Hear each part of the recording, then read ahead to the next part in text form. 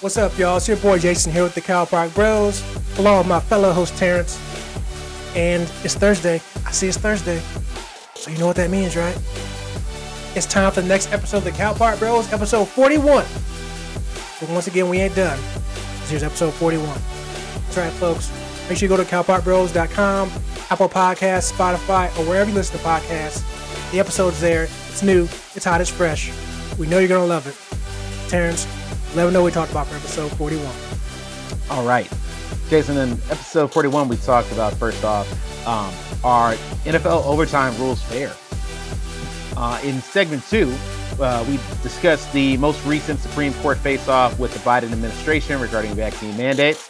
And lastly, in uh, segment three, uh, we discussed the merits of the latest Hall of Fame Major League Baseball class. And that's what we covered in episode 41. That's right, folks. That's what we talked about for episode 41. So again, go to Park Bros, Apple Podcast, Spotify. Check that episode out. But when it comes to all things Park Bros, make sure you like us, love us, share us, and follow us. Because if you like us, why wouldn't you? Yes, sir.